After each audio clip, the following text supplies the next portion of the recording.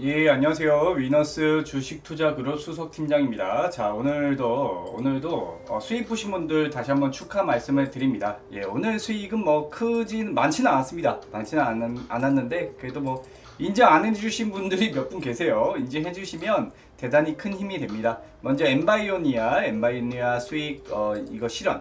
예, 감사합니다. 그리고 우리 DPC, 아, 이거 얼마나 좋습니까? 이거 유튜브 저희 추천 종목이죠. 유튜브 영상 보시는 분들 DPC 만약에 보시고 들어가셨다면 오늘 15% 이상 예, 수익을 보셨을 겁니다. 자, 다시 한번 수익 축하드리고요.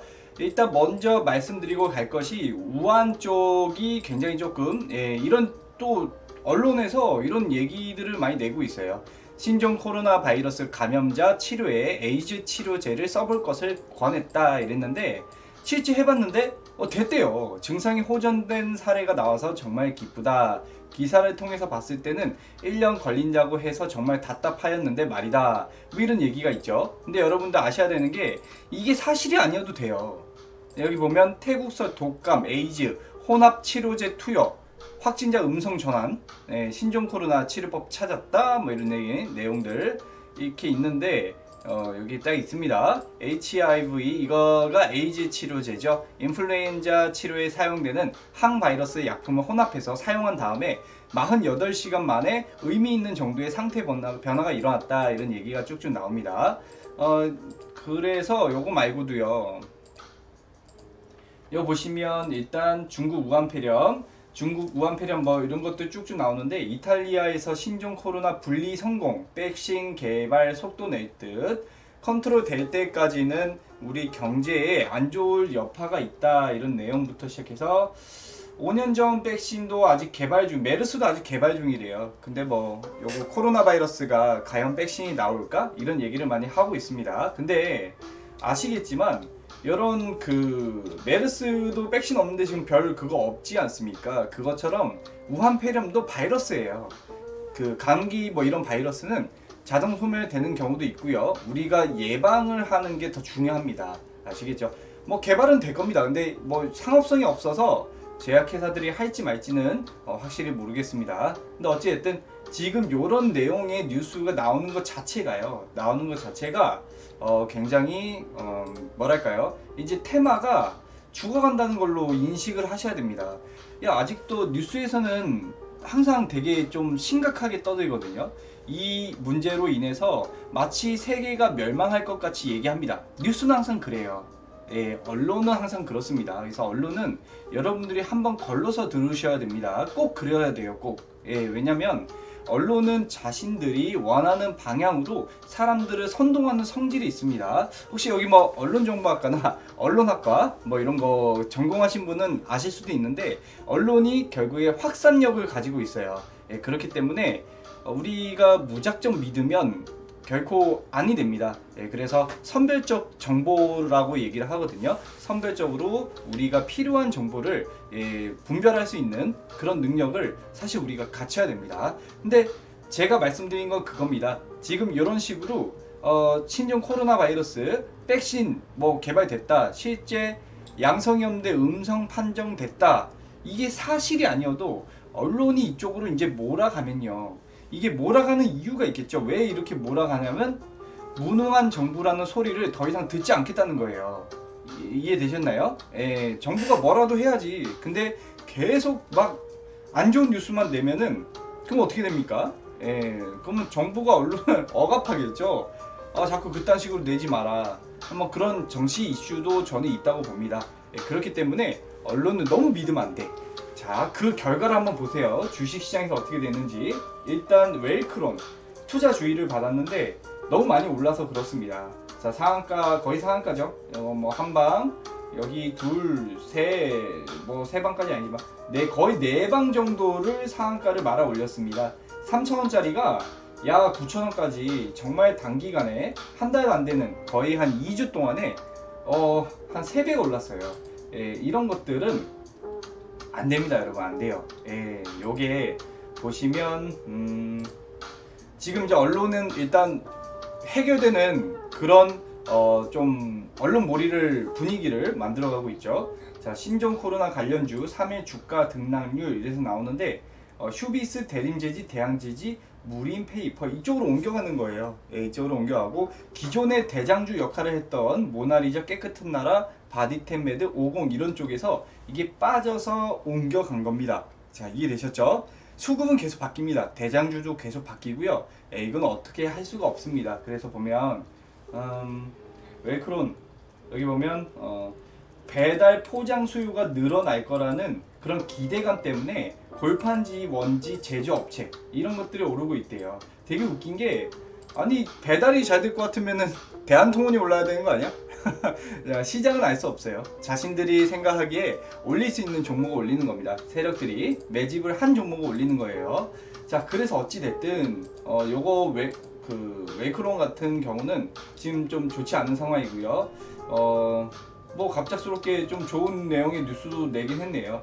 강원 웰크론 지분 매각통의 두배 정도 뭐 이런 좀 신사업 할 수 있는 것을 했다 뭐, 뭐 이런 뉴스 냈고 뭐 별로 뭐 큰 뉴스는 아닌 것 같고요. 어, 전 세계 마스크 수요 폭발 이런 것들이 오후 1시에 주가를 막으려고 낸 건지 어찌 됐든 예, 예 그래서 1시에 나왔을 때 주가 움직임 볼까요? 9시에 올랐다가 쭉쭉 빠졌네. 이거 1시에 낸 거 보니까요. 개미한테 물량 넘기려고 낸 것 같은데 예, 개미들은 그 뉴스를 보고 더 갈 거라고 생각하고 산 것 같아요 예, 그때 이제 자기들 물량 넘긴 것 같습니다 1차적으로 넘긴 것 같아요 예, 지금 웨크론 요 가, 웨크론 같은 경우는 잠시만요 음, 자 분봉으로 딱 봤을 때 웨크론은 어, 여기 보시면 여기 그리고 어, 이쪽 어, 그리고 또 하나를 더 한다면 이쪽 뭐 이쯤에서 지지 라인이 저는 있다고 보거든요. 근데 이제 그 위에 상위까지 또 올라갔으니까 한 요 정도에 하나 더 있어요. 근데 오늘 찍지는 않았어. 그 말은 뭐냐면요. 지지 라인 터치까지 조금 더 내려올 자리가 저는 있다고 봅니다. 예, 좀 더 있다고 봅니다. 그래서 조정을 더 받을 확률이 웰크로는 있어요. 예, 지금 매집된 거 보니까 오늘 오늘 물량 던진 것 같아요. 2차적으로. 근데 워낙에 거래량이 안 붙어서 그런지 물량은 던졌지만 요거 다 지금 못 털지 않았을까 네, 생각을 합니다. 그럼 얘가 어느 정도 여기 뭐 지지선 무너뜨리고 어느 정도 내려오면 아마 기술적 반등 한번 나올 거예요. 예, 기술적 반등. 그때 만약에 혹시 내가 정말 너무 물렸다 싶으면 기술적 반등 때 어, 마저 이렇게 수익을 털고 나오시는 게 낫지 않을까 싶어요. 아니면 뭐 바로 털거나 수익권이면 예, 손실권이면 잘 모르겠습니다.